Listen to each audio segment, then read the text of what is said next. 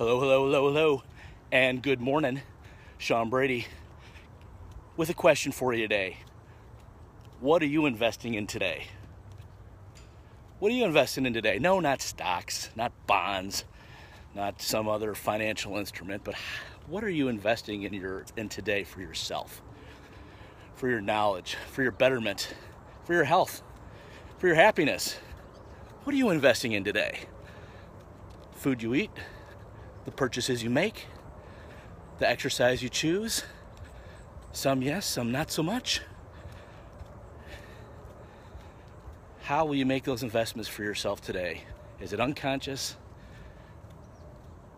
Or is it thoughtful, mindful, on point? So so far this morning, I got my I got 10,000 steps in for the day for my 15,000 steps a day goal. That'll be easily knocked out. Just most people do that walking around to their office and house, getting ready in the morning. You do more than you think. Who do we got on with us? Hey, Aaron. Good morning to you. How you been? Hey, public service announcement.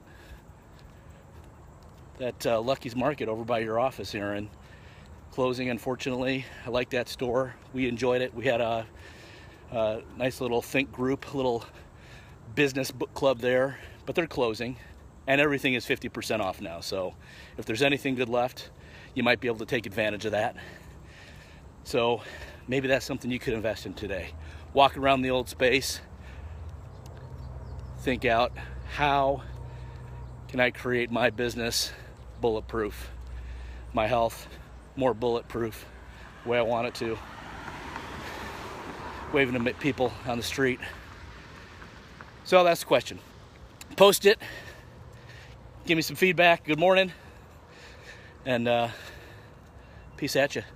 Sean Brady over and out. Get your steps in.